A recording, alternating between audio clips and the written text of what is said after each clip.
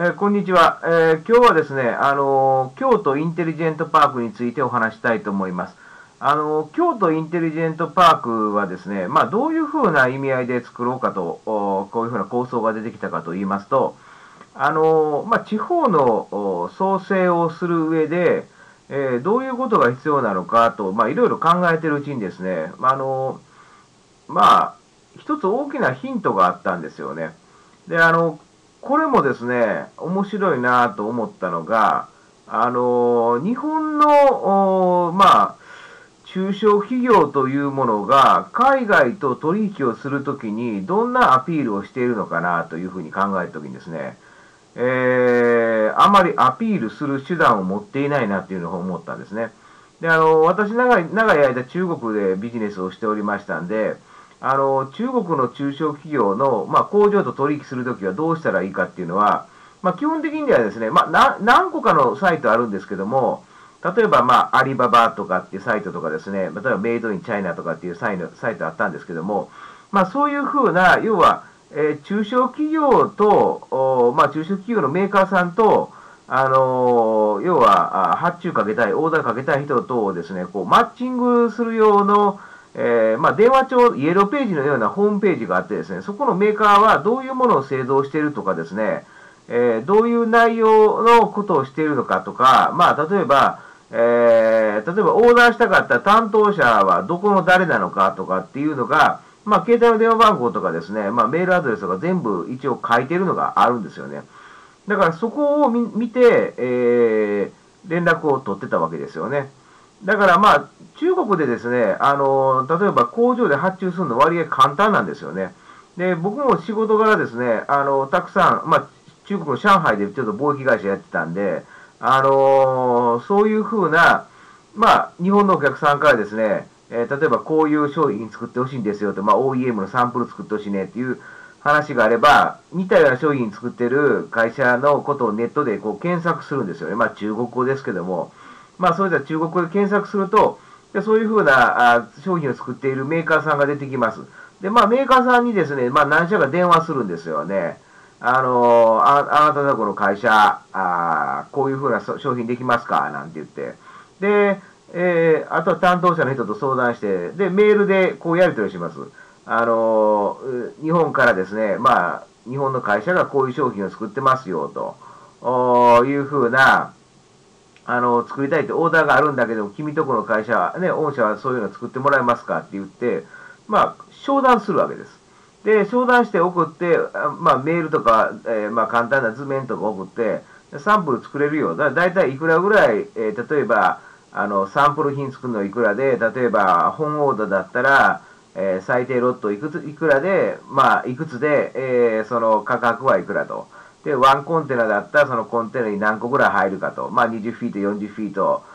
で、あとは運送代とか、そういうふうに合わせてですね、まあ、えー例えば C&F という条件とか、FOB、まあ、そういうふうな、まあ、えー上海側の港までの条件だったら FOB と。そこから先、日本の港までだったら C&F とか。まあ、そういうような条件で、まあ、あの価格決めるんですよね。まあ、まあ、中にはですね、まあ、貿易できないっていう企業だったら、まあ、うちの貿易会社がですね、あの、荷物をですね、工場までトラック持って行って、で、まあ、上海の郊外に、あの、バオ山っていう宝山っていうところにね、宝山区ってあるんですけども、そこに倉庫あの借りてるんでね、えーそこの倉庫に、えーこう、商品を入れてですね、で、梱包して、えー日本へ出すというふうな、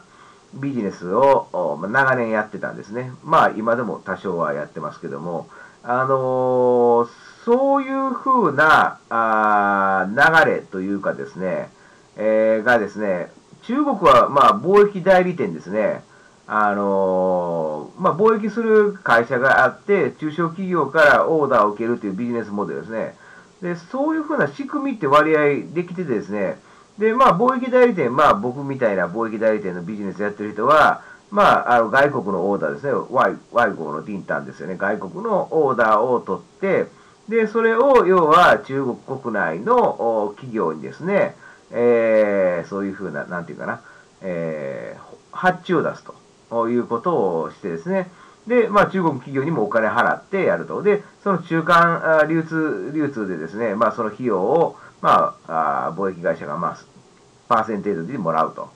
いうのが一般的な中国のやり方ですね。まあ、その輸出した元に対してはですね、まあ、商品に対する、まあ、日本でも消費税の還付ってあるんですけども、輸出元になると、まあ、還付収益があるのと、あと商品収益があるということで、まあ、貿易会社は飯食っていくというのが、まあ、パターンなんですよね。えー、まあ、そこでですね、まあ、中国はそういうふうなシステムが割合整ってるんですけども、まあ、日本の場合は、えー、中小企業の特にあの生産メーカーですよね、えー、まあ、あの既製品を作ってるメーカーさんだったら、直接ね、あの買い付け、問屋さんから買い付けるとか、まあ、いろんな方法、まあ、メーカーさん直接売ってくれないんですけどね、えー、そういうふうな方法はあると思うんですけども、まあ、流通形態が違うんで、外国人からで、まあ、はっきり言って全くわからないという状況なんですよね。でも実際は、日本国内の市場が今、どんどんどんどん縮小、縮小傾向になってます。で、国内市場が縮小してるんだけども、えー、要は、ジャパンブランドという意識というものは、えー、外国の人から見るとまだ全然魅力的なんですよね。まあ、クオリティも高いし、値段も安い。まあ、しかもまあ、あ最近は円安というかあ、そういうことになってですね、日本にオーダー出したら、物がいいのに値段が安いものがたくさんあるんじゃないかっていうところで、世界的に言うとですね、ものすごい物価がこう上がってるんですけども、日本はですね、まあ、物価上がってるかどうかなんて言っても、経済成長もほとんど止まってるし、逆に円安になったおかげで、えー、この3年、4年ぐらいで、あの非常に、えー、外国はドル建てで考える方から見ると、割安感増大、えー、異常な増大を増していってるんですよね。で、実は日本に対して、え、外国のメーカーさんも、実際はオーダー出したいという思いがあるんだけども、そのオーダーを出すときに、どこに電話したらいいのか、誰に話しかけたらいいのかっていうのが、わからないというのが現状なんですよね。その時に、要は、間に立って、えー、マッチングをしてくれる何かがいるということなんです。何かがいるということです。それは、例えば中国だったらアリババとかっていう企業がやってたわけですよね。まあ、その他にもいくつかの、そういうふうな、えー、B2B マッチングですね。外国とのマッチング。で、その時に言ってたのがですね、展示会場っていうのは、例えば日本でもビッグサイトで展示会あります。中国でも、例えば交易市場っていう言われてるですね、えー、広東省でいう、う広州交易、交易とかね、えー、展示会とか、まあ、例えば、えー、加藤交易とか、まあ、そういうふうな、え、上海近郊とか、まあ、そういうふうな大きな展示会あるんですけども、展示会の時しかですね、商品探せないんだったら、まあ、不便でしょうがないんですよね。だからそれを、要は展示会以外の時でも、常に情報を掲示しておくと、外国からオーダーが来るかもしれないというふうな情報ネットワーク。まあ、あれはなんかやっぱり中国はなんでそういうのを先進めたかというと、国が大きいというのと、まあ、えー、たった数十年間のうちにこう経済発展しようと思った時にですね、外国からのオーダーっていうのはやっぱり重要だったんですよね。特にえー、来量加工貿易というふうな貿易から中国って大きくなっていったんです。来量加工貿易って何なのかというと、えー、材料代、材料代も商品加工する機会もないから、逆に言ったら場所と人は貸すから、あとは勝手にあの外国の方やってください。で、加工賃はただで、あのまあ、税金かけないでしょうと。消費、例えば、えー、増地税という税金とか、えー、関税という税金はかけないですよということで、要は、あの加工してくださいねと。で、そういうことになって、まあ、加工貿易がどんどん栄えてきてですね、で、その後に、要は、何が起こったかというと、えー、まあ、そういうところで、まあ、技術を磨いて、まあ、ある程度お金を持ってきた人たちが自分でどんどん工場を作っていったんですよね。でも、基本的には、まあ、あの、外需からの取り入れてビジネスをしよう。まあ、内需向けにもやっていったんですけど、初めはやっぱり初期市場っていうのは外需型から始まっていったんですね。で、え内需型にこう、今は転換してきてるんですけども、でも、あの、そのきっかけを作ったのは、やっぱり、そのインターネット上でのマッチングですよね。その間に、要は、まあ、どういうふうな情報交換、間に、要は、立ってくれる企業があったから、あれは実現できた。世界の工場としてですね、実現できたんですね。で、日本が今、目指さないといけない大きなポイントとしてはですね、日本のメーカーの商品は、世界から見ると、魅力的なんです。すごい魅力的なんだけども、一つ言えることは、どこで何を誰に発注すればいいのかがわからない。逆に本当僕日本人、まあ日本人で、まあ海外だから半分日本人じゃないって言われるかわかんないけども、日本人であっても、例えばあの金属加工をどこのこうメーカーに頼んでやってくれるの？なんて言ったらよくわかんないですよね。で、メーカーさんもあんまりそんなこと宣伝して、まあホームページはちょこっとあるんですけども、うちはそんなことやり、製造技術の機械とか書いてるけど、この技術をいくらで受けてやりますよなんてね、こうアピールしてるメーカーってあんまり見たことないですよね。こうなんか人脈をこう裏で人脈でビジネスしてるような感覚でですね、いるんで、まあ、うちうちの間で仕事回ってる間はいいですよ。でも最近みんなこう苦しくなってきてるのは、もう宇宙、日本内需の仕事とか、日本の企業間での情報ネットワークだけで仕事取るの限界が来てるんで、じゃあ、どうやってそこ、外から仕事取ったらいいのっていう世界になりつつあるんです。で、その時に必要なのが、あの、日本国内でも、要は、中小企業がどんなものを作って、誰に発注すれば、要はいいのかという情報ネットワークで、そういうふうな電話帳のようなもの、そして電話帳だけだったらダメなんですね、これ。それを間を取り持ってくれる、要は仲立ち人がいるんです。ね。あのー、この仲立ち人がないと、日本人って結構消極的なんで、外国人とのやり取りして、これデータで分かってるんですけども、3回ぐらいやり取りするとですね、みんなもう向こうの反応が悪いとかですね、なかなか言葉も通じないんで、力尽きてやめちゃうんですよね。これが現実なんです。で、だから例えばたまたまそういうふうなオーダーの話来ましたなんて言っても、やっぱり間に立って交渉する。まあ僕らも確かに中国で貿易するとき、日本のメーカーさんがね、えー、中国と交渉するときなぜ僕に発注出してくれるのかっていうと、僕は中国のメーカーさんにさ、電話をかけて、まあうちの社員が電話するか僕は電話するかしたんですけども、あのー、まあ中国を使って、ウェイって言ってね、電話するわけですよね。ニダコンちゃんし、ね、ちゃんと投資クイズを回っててね、こんな商品できますか？なんて言って、あのー、リベンダ空腹想要って言ってね、想要中、中、中長だ、なんか、トゥズ、トゥズ、えー、トゥズね、あの、要は図面があります。現在、用意トゥズだ。えー、オファーゲに感謝って、あなた見てね、見てくださいって言って、そして、あの、我们要订单的，就是样品做的话，费费用多少钱とかって言うんですね。あの、要は、サンプル作ったらいくらいるんですかと。还有是最少订单し、なんか時価とかね。定造値図が、えー、追加リアンとかね、そういうふうな最低ロット数はいくらとかっていうことを、まあ毎回、毎回ワンパターンのね、一つで電話して聞くんですよね。で、価格はなじゃあがしざやんで、これで例えば値段がどうですかって高かったらですね、ペイン店ハオマーとかで値段安くしてくださいとかって、まあそういうような値段交渉したりとかですね、二面コン数よ、よ、よ、よファーペアマーとかね、こうあなたの会社よ、領収書ありますかなんて言って、こういうふうな交渉をするのが、まあ貿易会社の仲介会社の仕事なんですよね。で、実際ですね、日本でもそうなんですよね。じゃあ、あなたとこの価格は、これは消費税含んでますかとか、あなたとか物流梱包とか全部やってくれますか工場出すときにでやりますかお金の支払い方ど、決算どうしますかとかっていう、貿易知識がいる、プラス物流知識がいる、あとは超超商品に対しての、例えばサンプルの送付とか、まあそういうところの打ち合わせがいるんですよね。で、それを要は、情報データベースいっぱいたくさんあったとしても、それの交渉がみんなができるかというと、国際貿易に慣れてない人がいきなり済んだら無理なんです。これ中国でもメーカーそうだったんですよね。で、僕らが逆に言うと、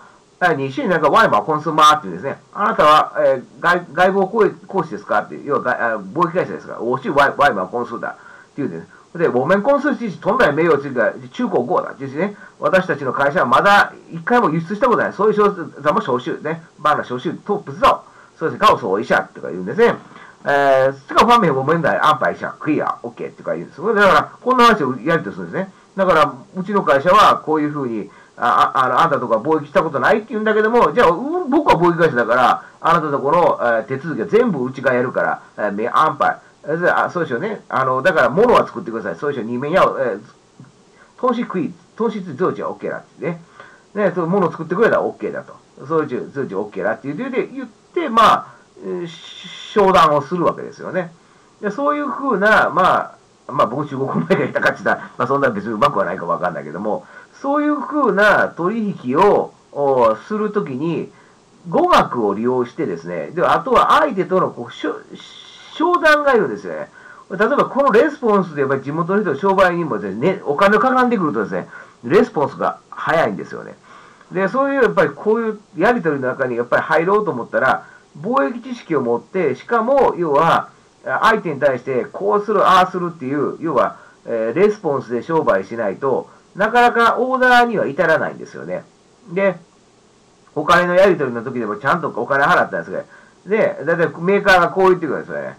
えー、あの、バウチャー単ですよね。まあ、例えば、なんていうかな、あの、ー、なんていうか、日本語忘れましたけども、えー、見積もり書ですよね。で、バウチャー、ね、あの、見積もり書を出してきました。えー、にめ、バウチャーはからはめよう。ね、えー、要は、バウチャー、えー、見ましたかって、はいはい、あオッケーだ、お、カンハが。えー、中心二面でじゃあがし、僕いとんいら。あね、私はあなた方の値段は、とんいらですね。えー、新風ら、倍分に賛成とかね、言うんですよね。あなたを不人風ら、臨時倍分三成だって言って、例えば、あの、スタート、着手金として30%払いますよって。二面コン数的就是规定是咋样的って言ってね、えー、百分之三十先付、定定单的時候要付吗とかで、初め30%払うんですかとか、倍分之50万とか、50%払うんですかとか、そういうね、交渉をね、一般的にしないといけないんです。で、例えば日本、向こうのとこも聞きたいんですよね。日本的公司ね、いや例えば、要定的時候先付多少钱とか、もう知らないでしょ、習慣。就是、呃、做生意的習慣是不知道。ね。だから、あの、商商売のやり方ってわからない、習慣がわかんないから、どうしたらいいんだなんていう話になるから、だから、ここの部分を誰が交渉するのかというところが、実は非常に重要なポイントになるということなんですね。で、これさえできれば、まあ、一歩一歩前へ進んでオーダー取れるんです。で、オーダー取ろうと思ったらどうするかという、その値段の交渉とでオーダーするときのその商品が、このトンシのね、例えばこのものでね、あの、表面がどうだとか、また細かい話もあるんですよ。えー、質量し、很好まって言ってね、これいいか悪いかなんて言ってね、クオリティがいいんなんですかとか。っていう、それで、例えばね、ワイン一个里面东西那个坏掉了或者怎么办って言って、えー、有有保険吗とかね、要はこういう保険がありますかとか、例えば壊れちゃったらどうですかとかね、えー、そういう、あとはね、そういうふうな、うん、ウーリュだし、ほう、まあ、ウーリュだとかで、どういうふうに物流をするのかとか、で、そういう、そういうですね、この交渉がいるんです。で、実はね、僕何を今言ってるかというと、京都インテリジェントパーク構想という中で重要なことというのが、すなわち、仲立ち人を育成する人々がいるということです。日本ではですね、あまりその貿易とかですね、え例えば商売するときの、外国と商売するときの仲立ち人の教育というのは、まあ見たことないかな？やってるのかな？まあ貿易取引するときには仲立ち人がいると思うんですけども、日本もたくさんのですね、例えば京都の周辺だとすると、えー、どこだ？まあ、京都の南側とかですね、東大阪とかですね、あの辺には、たくさんの中小企業があってですね、まあ、製造メーカーさんがあるんですよね。まあ、あの、ちょうど、京阪神工業地帯というか、あその一帯というのは、たくさんのメーカーさんはあるんだけども、まあ、あのー、大きな企業だったらですね、そういうふうな取引する人っていうのを、まあ、え商社とか使って雇ってたりとかですね、まあ、例えば、え自社の中に、え語学できる外国人雇ってみたりとかするんですけども、まあ、一般的なですね、中小企業の場合です、外国のオーダーがいつ取れるかわからないからって言って、あの、なかなかそういうふうな人、人材を雇ってないっていうのもあるし、逆にそんなことやったことないから発想がないんですよね。できるかどうか、外国のオーダーなんて来るはずないみたいなとこ思ってるんだけども、内心ですね、そのオーダー取りたいんですよね。だから僕なんか特によく相談されるのがですね、え中国と商売したんだけどどうしたらいいなんて、もう多いんですよ、質問が。それなぜかというと、長いこと中国と商売してるから、もう小谷やったらなんか知ってんじゃねえかなってみんな思うんですけども、まあ、僕も神じゃないんで全部知ってるわけじゃないんですよね。でも、まあ、何をしてるかっていうと、インターネットとかをうまく使いながら情報を収集してるっていうのは事実なんですね。それで相手に対して、あの、聞くんですよね。現在日本的公司这样的要求を出すって言ってね、こう、日本の会社はこんな要求があるんだ。そういう二面公司し、可以接受ま受けることはできますかって。あっていうのを、あのいう話を交渉するんです。だから、まあ、まあ、僕は一人でまあ仕事の中でこういうのはブツブツブツブツブツブツ言いながら、まあ、あの、今なんて、えー、ウィウィチャットですね、あの、しながらですね、最近電話するんですよ。ウェイって電話するんですよね。中国のメーカーなんかにもさ。で、まあ、まあ、それで、あの、いいよ、ウェイシンマーとかね、あの、そういうの言って、そういう、なんていうから、チャットあありますか？なんて言って、それで、僕そこから携帯電話チャット始めですよね。それで、あの、こういうもんどうや、ああいうもんどうや、値段どうなんで言ってよくやってますけども、あの、まあ、要はね、経済活性、外国との商売の経済活性をしようと思ったら、そういうふうな一つは大きなデータベースを作るというのが一つの仕事なんですよね。日本国内にあるすべての、まあ、まあ、特に、まあ、初めは京阪神ぐらいからいいでもいいんですけども、そんな企業に回ってですね、あのー、あんたとこの商品何作ってんのよと。で、そう、オーダー外国で取りたいと思うとか、そういうことをして、で、で、そこでじゃあ話しかけてるかって、だいたい中小企業の社長はそう言いますよ。そんなね、わしらにね、そんなこと言われてもね、言葉わからん、外国わからん、外人金払うんかと。ほんで、前金で税金もらわないとお前文句ねえやろって言ったら、そうそう、そ、まあ、そら、ええんちゃいますかっていう話するんですよね。まあ、あの、金くれるならやりますよと いう話っていうのがあると思います。だから、結論としてどういうことかというと、京都インテリジェントパーク構想っていうのは、特に外国、ね、しかも、えー、極東アジアっていうのが北側見たら多いんですよね。えー、まあ、僕はまあ中国はメインでやっていましたけども、えー、朝鮮半島もありますし、ロシアもあるし、まあ、中国もあるし、まあ、東北東アジアって言われてる世界でいうとモンゴルもあると。そういうふうな国々との、え取引を、要は促進するためにどうしたらいいかということを研究する機関、まさにそれが京都インテリジェントパーク構想なんですよね。だから、取引を促進するにはどうしたらいいかということですね。取引促進する。それは、情報として日本の企業情報を集めるということです。で、それがあって、じゃあ、例えば中国のメーカーさんが直接あの発注するとすれば、あの、中国のメーカーは最近、あの部品は日本から調達してね、北京市日本の東西很好啊って言ってるんですね。日本の部品は日本很好、とてもいいですよって言って。所以我们公司的产品也是想要这日本的配件って言ってるんですよ。で、こう日本のような部品を使った、日本製の部品を使ったらいいですよってって、うちらの商品に対してもね。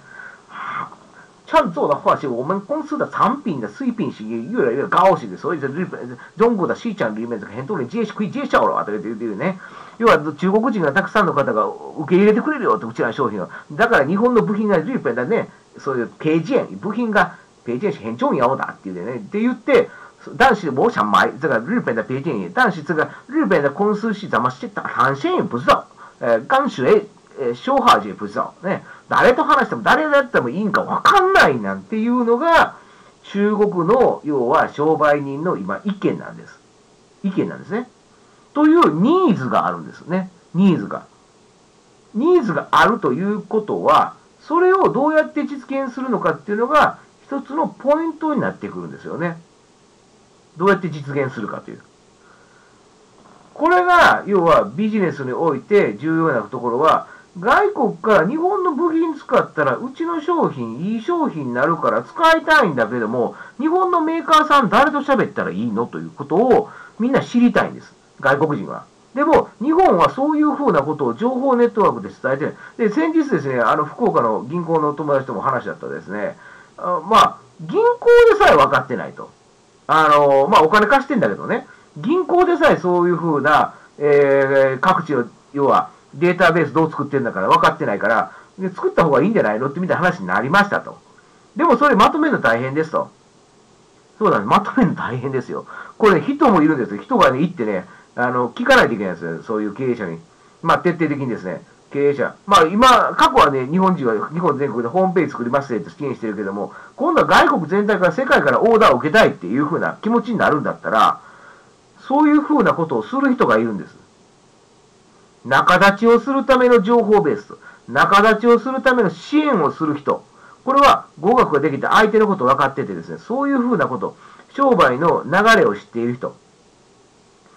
外国とのですね、そういうふうなものが生まれてくると、ビジネスは促進するんです。でもそれをですね、教育機関としてやらない限り、実際のこと言うと意味がないんですよね。やれない。これなぜかというと、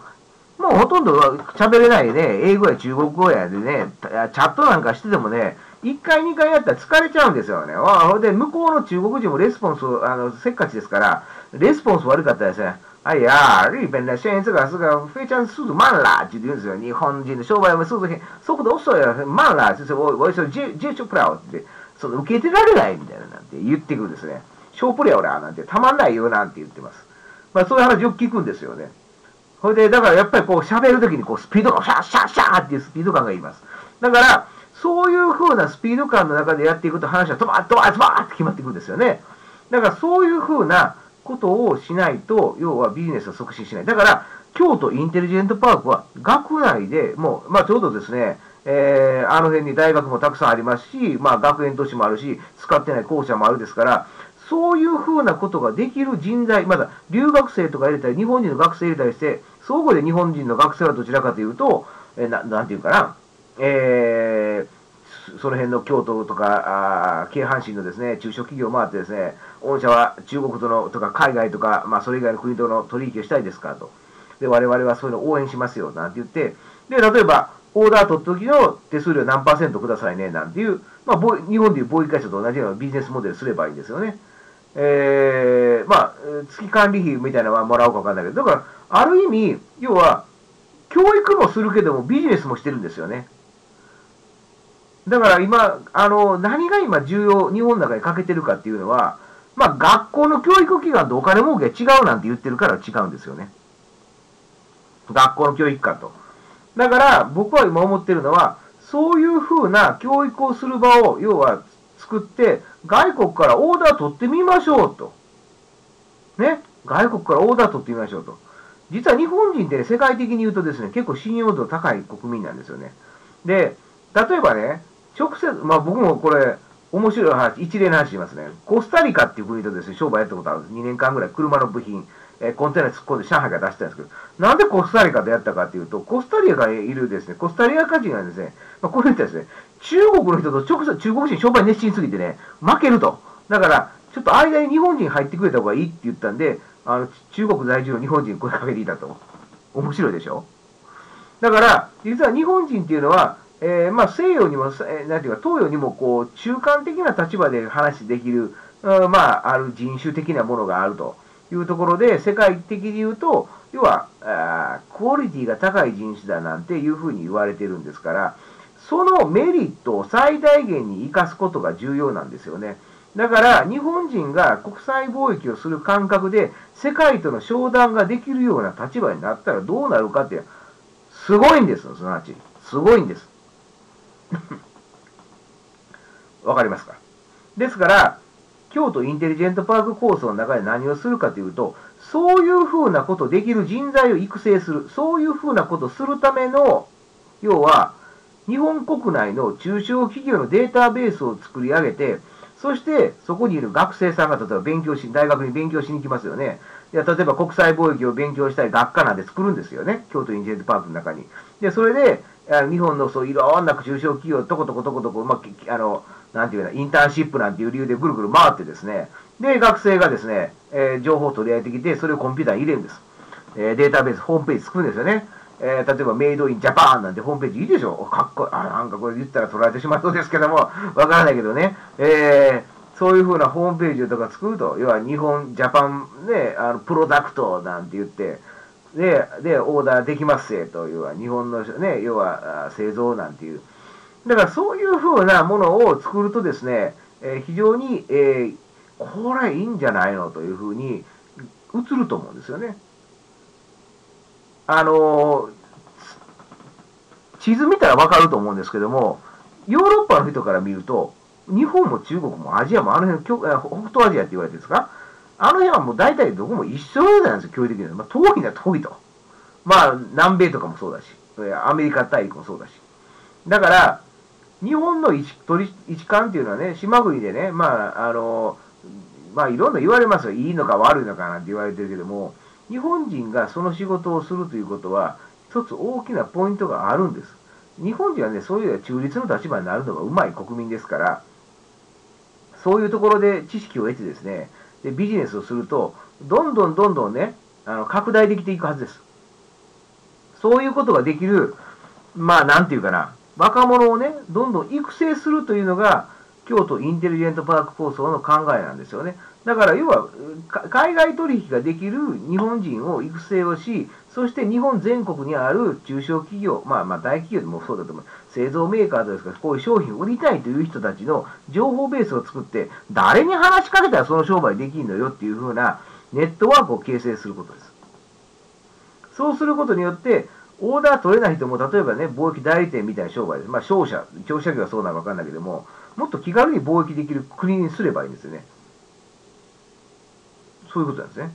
で、それで、要はデータベース化を作ってやると、そしたら、例えば海外のオーダーの人から電話がかかってくるんですね。あの、中国のメーカーなんだけど、つってね、あの、日本の商品を、日本の部品ここ発注したいんだけどとか、日本のこういう商品発注してるうちのタグ貼っていいですか？なんて言って。だから例えば、あの、今ほど中国メーカーも大きくなってきてね、強くなってきたんで、あの部品を、日本製の部品をたくさん入れてですね、いい商品作ってるメーカーさんっていうのは結構増えてきてるんですよね。だから、そういうふうなことを見てる中国の商売人も、うちの会社も、うちの会社も、我が会社もそうやりたいって言って、